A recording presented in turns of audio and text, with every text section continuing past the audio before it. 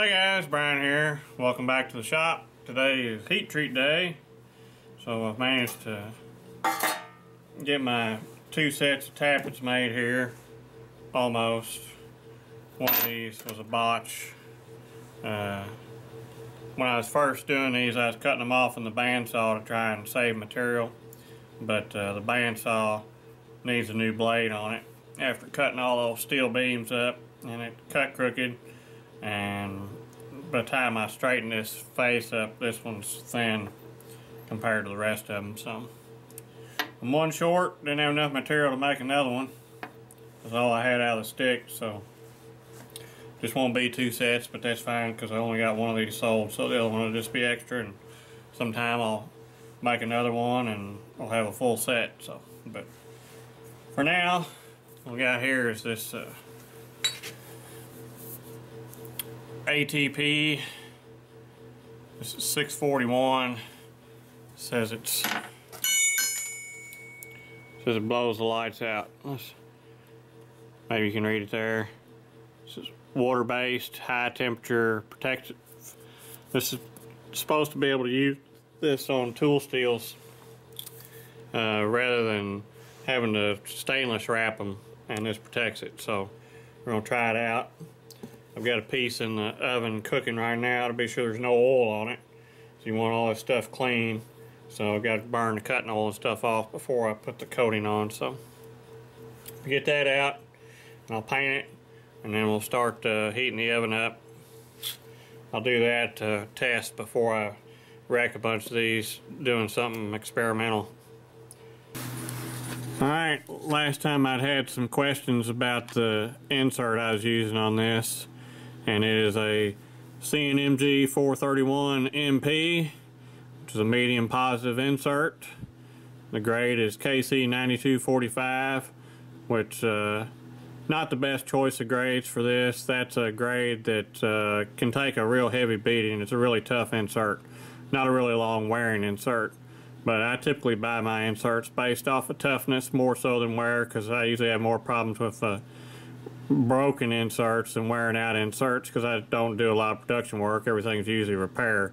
So usually working on stuff that's got interrupted cuts and messed up holes and things like that. So the tougher insert's better for what I do most of the time.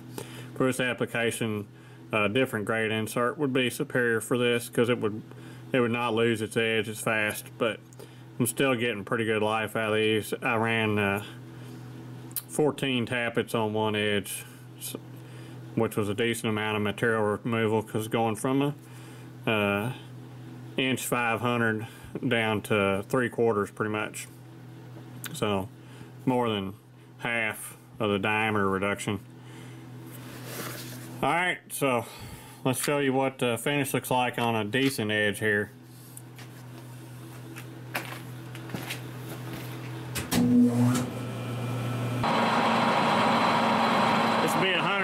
if he'll give it a go.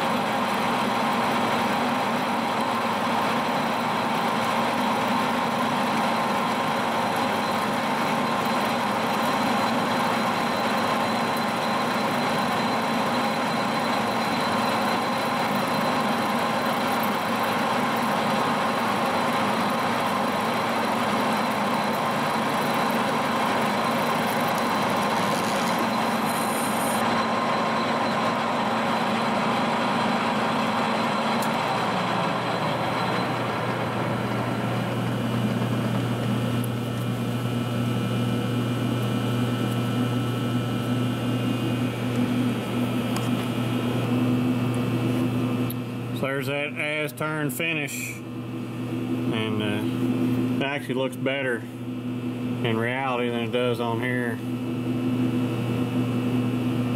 Focus. Come on. I guess can't focus on that shiny.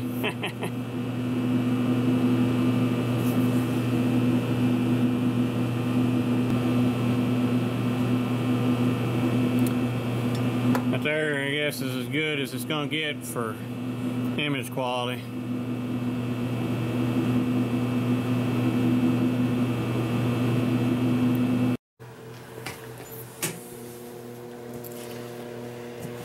Alright, so this is my test victim here. The guy out of the furnace.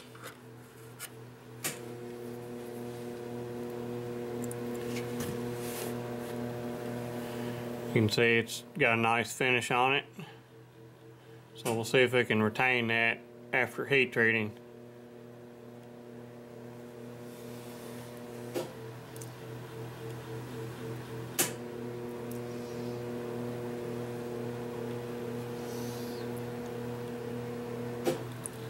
Alright, so heater's on.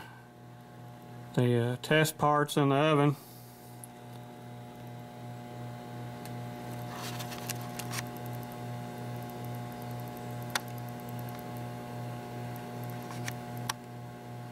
I can't get it focus in there. Up to, up to 1700.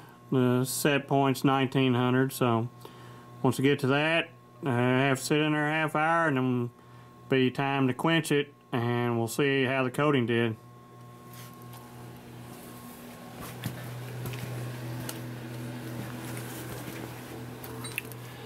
So here I got them painted up.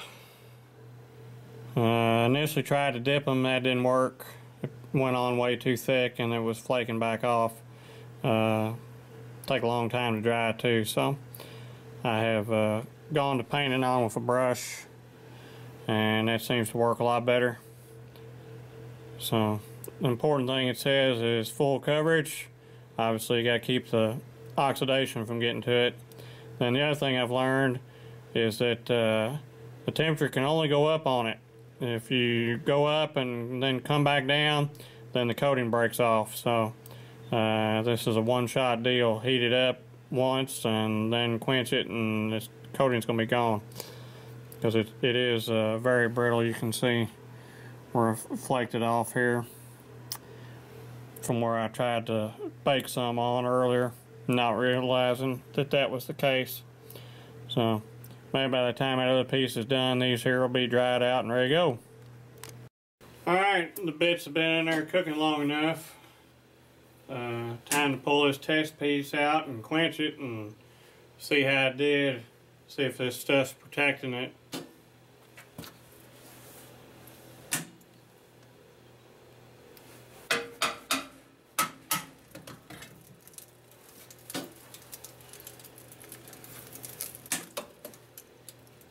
Well, that ain't too handy.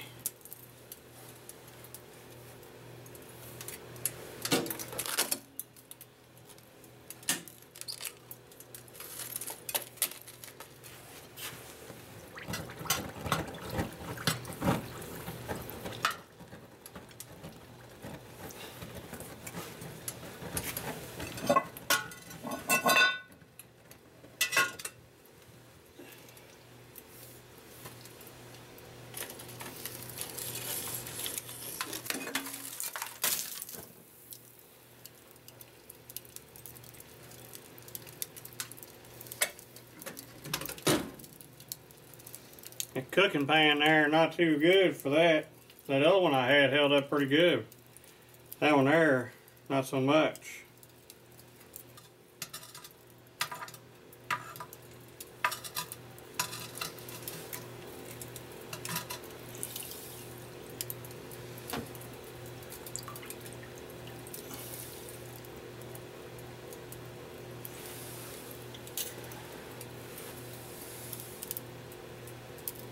Well, there it is. It uh, definitely does appear to have protected it from decarburization. You still see some of the coating there on the side, so. Get this thing cooled off and scrape it up and see what it looks like. Well, there it is. It's actually fairly clean for coming out of heat treating. Usually these are a lot darker than when they're wrapped in the stainless. But you can see it looks like maybe on this one little spot here must have had a little crack. Might have got a little air in there. It's got some scale on it.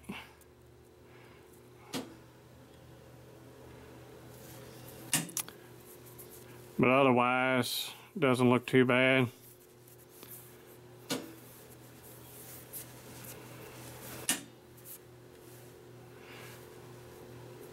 Can probably live with that. We'll give it a go. I've got enough material on the tappets that if it does uh, get some pitting in it, I can turn it out. So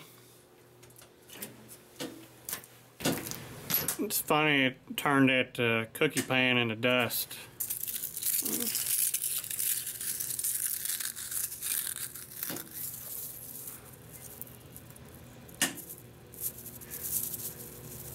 That's what uh, what China will get you right there. Quality steel like that.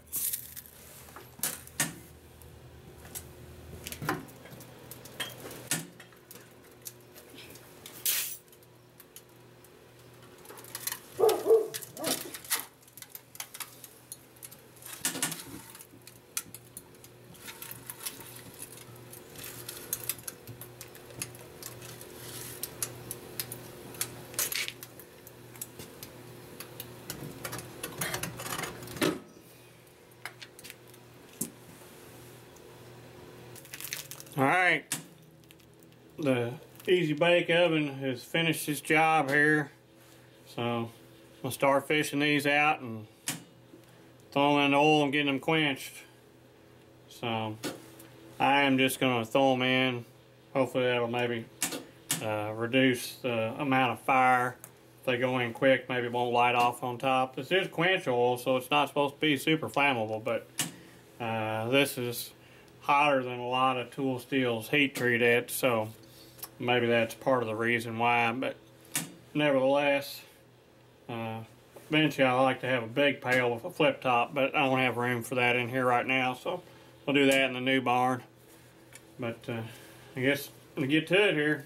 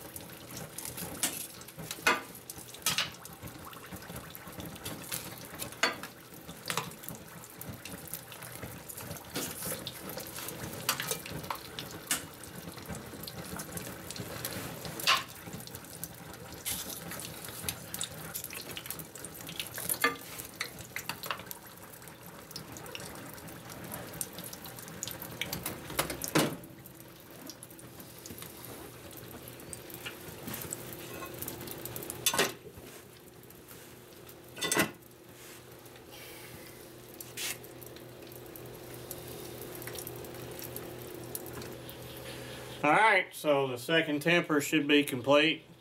So all I gotta do is pull these out and let them cool down and uh, be ready for hard turning and grinding be next.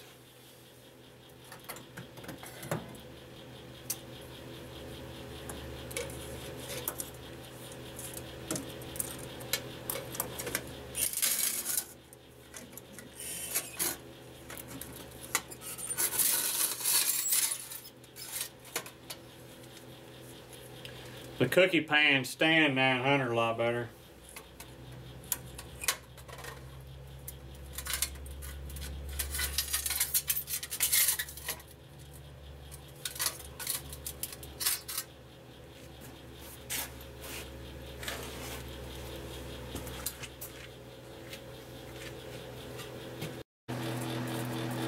Here comes the shop boss. Bailey, do you give your approval? It's good. That was a no? Oh, it's okay. Alright. I guess it's bedtime. Well, there they are. They're out and cooling off, so uh, just got home from work and had time to do the two uh, tempers on these. So tomorrow night when I get home, I'll be able to start doing the hard turning on them and getting them ground up and getting these finished. So thanks for watching, thanks for subscribing, and I'll catch y'all later. I appreciate you, all of you.